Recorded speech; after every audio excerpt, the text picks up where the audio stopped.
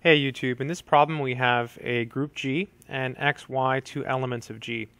We have to prove that if either 1, x times y is equal to e, which is the identity, or 2, y times x is equal to e, then y is the inverse of x. So first let's recall what it means for y to be the inverse of x. So recall y is the inverse of x if if you take x times y, you get e, and if you take y times x, you get e.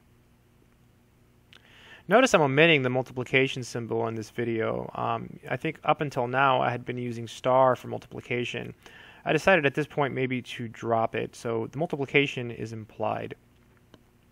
So this is basically asking us to prove that if we have a so-called one-sided inverse, that it's essentially a two-sided inverse. So, uh, so if we can show that the inverse works for only one equation, then it works for both, and we have a genuine inverse.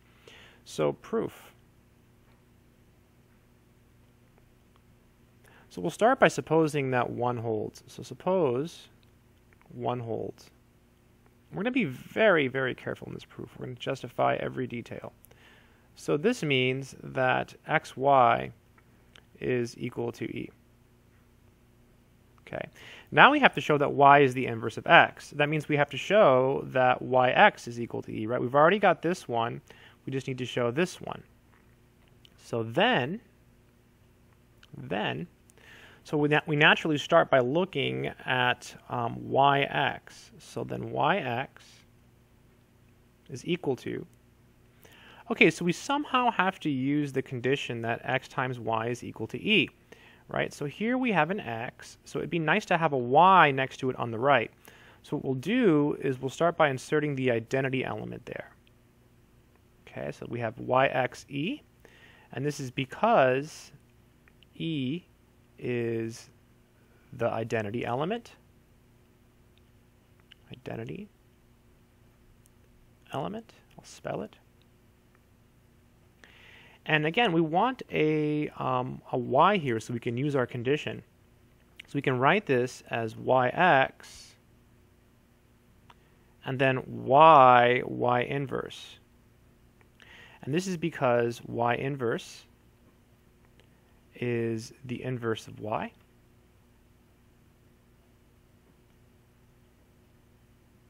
Okay. And now we're going to use uh, associativity very, very carefully, right? So this is going to be, let's see, um, we want to use associativity on these elements. This will be, we're going to use it on this one, this one, and this one. This will be y parentheses x, y, y inverse, parentheses, parentheses, right? And let me just clarify this. This takes some practice. This is A, B, C.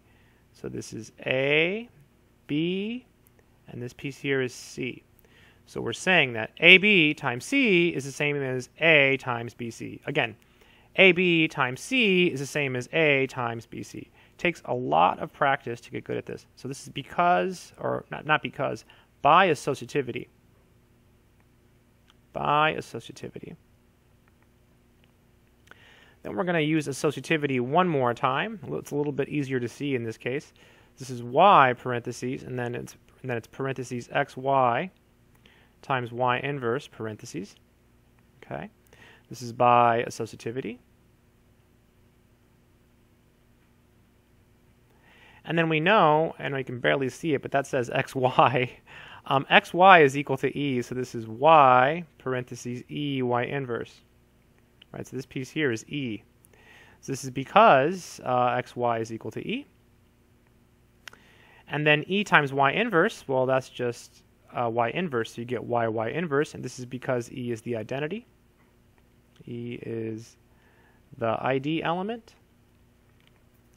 And then y times y inverse is equal to e. This is because y inverse is the inverse of y. Okay? So this shows this shows that uh, yx yx is equal to e, right? So we started uh, with xy equal to e, and uh, then we showed that yx is equal to e. So this means that.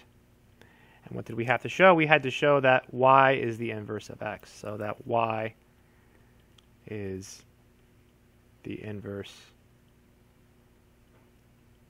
of x.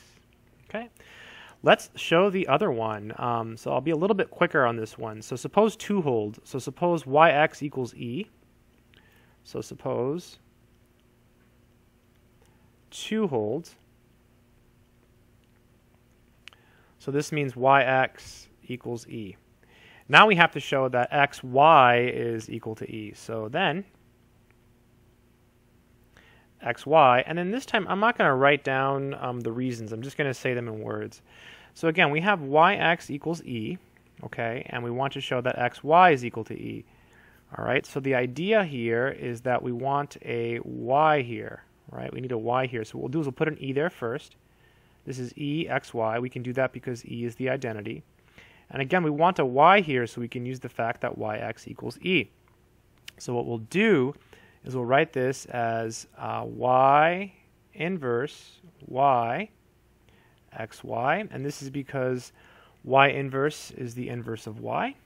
Okay, and now we'll use the associativity. Okay, on uh, let's see on which elements we're going to do that on this one, this one, and um, this one. So this will be parentheses y inverse y x y.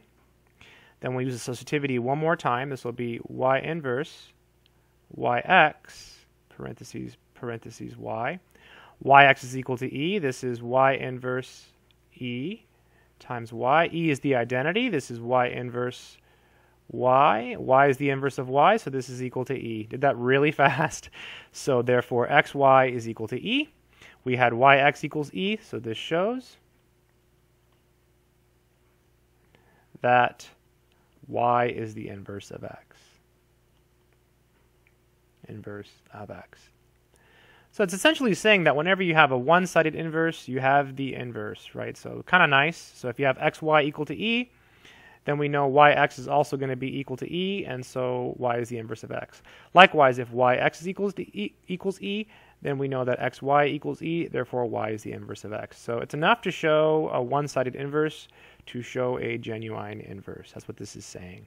I hope this video has been helpful. Thanks for watching.